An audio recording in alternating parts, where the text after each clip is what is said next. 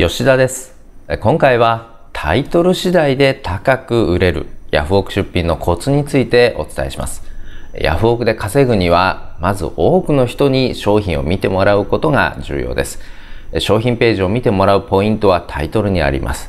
今回はアクセス数が伸びるタイトルの付け方をお教えしますので、最後までお付き合いください。タイトル作成の基本的な方法、タイトル作りの基本を解説します。軸になるキーワードを考える。まずはどのようなキーワードを軸にするか決めます。幼児山本のムートンジャケットなら、ムートンジャケットか、幼児山本にするか考えます。商品の良い点を入れる。商品の魅力的なポイントを決めます。ヤフオクでは未使用、限定品、非売品、送料無料などが人気です。これらをタイトルに最低1つか2つは入れましょう。検索に引っかかる単語を入れる。買い手が検索しそうなキーワードを洗い出します。幼児山本のムートンジャケットならば、ブランド名や商品カテゴリーだけでなく、性別やサイズ、色、シーズン、状態も入れましょう。どのような単語が検索されているかは、同じジャンルで過去落札された商品を検索して調べることができます。クリックしたくなる商品タイトルとは、買い手が思わずクリックしたくなるタイトルはどのようなものか説明します。記号や括弧をうまく活用する。まず、記号や括弧を使うと、以下の検索結果のようにパッと目につきやすくなり効果的です。強調したい部分を括弧で囲ったり、記号で区切ることで読みやすく目立つようになります。タイトルの冒頭10字で決まる。アピールポイントや魅力的な言葉を最初に持ってくることも重要です。買い手はタイトルをすべて読んでいるわけではありません。タイトルの冒頭部分が魅力的に見えなければスルーされてしまいますので、先ほど挙げたようなアピールポイントは冒頭に入れましょう。検索に引っかかりやすいタイトルとは、買い手の検索結果に引っかかりやすいタイトルの付け方を説明します。検索されやすい単語をなるべく多く入れる。まず、検索されやすい単語を商品説明欄よりタイトルになるべく多く入れましょう。ヤフオクではタイトルに検索キーワードが入っている商品のみ結果に表示されます。商品説明のキーワードは条件指定で検索した時に引っかかります。例えば、商品タイトルを幼児山本ムートンジャケット、商品説明を幼児山本ムートンジャケットメンズ M 送料無料とした場合、検索に引っかかる単語は幼児山本とムートンジャケットのみです。商品タイトルは65文字まで OK なので、なるべく多くの情報を入れましょう。より多く検索されている書き方にする。次に、より多く検索されている表記をすることが大事です。同じメガネでも、ひらがなのメガネ、カタカナのメガネ、漢字のメガネと3種類の書き方がありますが、この場合は検索数が多い表記を選びましょう。その際、検索ランキングが便利です。こちら動画の概要欄に URL 貼っておきます。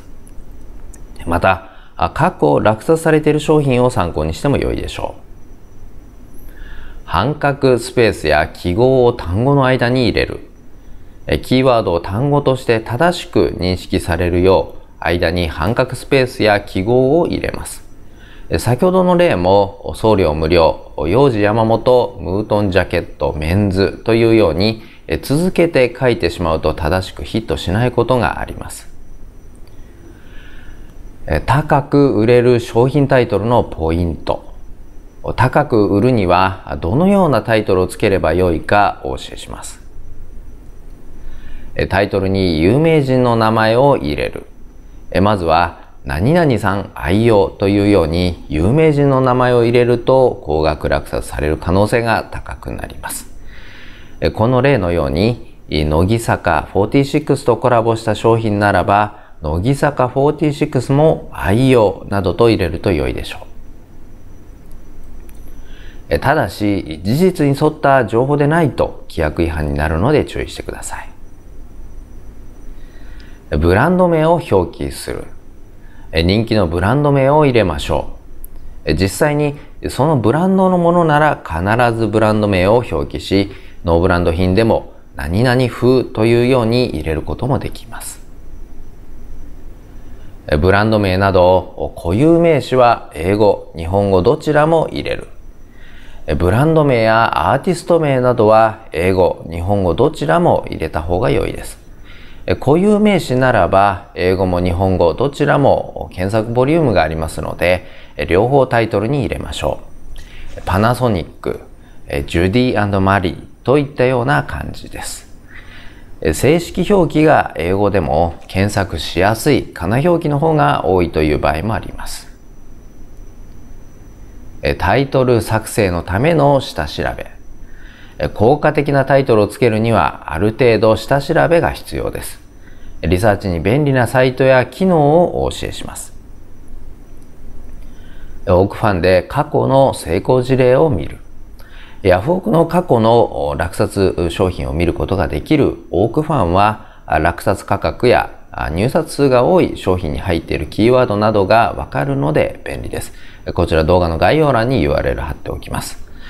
慣れないうちは成功例を真似た方がうまくいくので、どんどんコピーしましょう。マイナス検索機能で競合を調べる。特定のキーワードを除外して検索するマイナス検索機能は、例えば、ムートンジャケット、マイナスメンズというように、マイナスをつけて検索すると、検索結果からマイナスの後のキーワードが入る商品が除外されます。この機能を使うと、どのような表記がよく使われているのか、使われていないのか、また、キーワードの組み合わせの傾向もわかります。その他のタイトルの付け方のコツ。正しい品番、型番を入れる。品番や型番はハイフンなども入れて正しく入力しましょう。例えば DMC-LX100 のカメラの場合、正しく品番を入れて検索するとヒットします。しかし、ハイフンを抜いて検索すると結果が大きく変わってしまいます。ブランド名などのスペルもミスがないように注意してください。関係ない単語をタイトルに詰め込まない。関係ない、もしくは関係性が薄い単語を詰め込みすぎると分かりにくくなり買い手を困惑させてしまいます。商品のターゲットを絞り、関係のあるキーワードだけで簡潔なタイトルを作りましょう。また、単語を詰め込みすぎたタイトルはスパムのような印象になり、非表示になってしまうこともあります。明確で詳しい商品タイトルを心がける。最後に明確かつ詳細がわかるタイトルをつけることが重要です。今までのポイントを踏まえればわかりやすいタイトルになります。日本製のドライヤーなど曖昧なタイトルでは見てもらえません。まとめです。適当につけたタイトルでは商品が見られず売れません。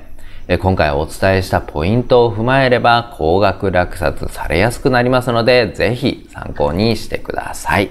ということで、チャンネル登録お願いします。